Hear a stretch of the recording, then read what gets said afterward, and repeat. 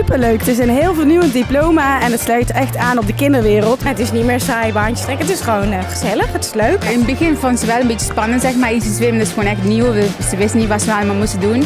Maar toen ze hier kwam beginnen en toen vond ze echt kei leuk. Ja, je ziet toch een stukje plezier, speelsheid en uh, ja, dat, dat maakt het toch wel heel leuk. Uh, ja. Mijn zoontje zei, als ik zo mocht zwemmen wil ik elke dag wel. Hij heeft er ook heel veel plezier in. Hij vertelt over al die spelletjes die hij mag doen. Over het ijs lopen en dan viel je opeens in het water en dan moest je eronder doorduiken. En dan moet je water trappen en rondkijken waar je bent en dan wegzwemmen.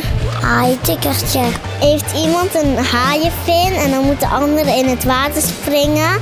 En dan gaat die haai dan tikken, maar als je onder water gaat, dan mag je niet tikken. En uh, dat je bijvoorbeeld uit een boot valt of ergens vandaan valt. Nu is een kind er gewoon op voorbereid, dus dat is superleuk.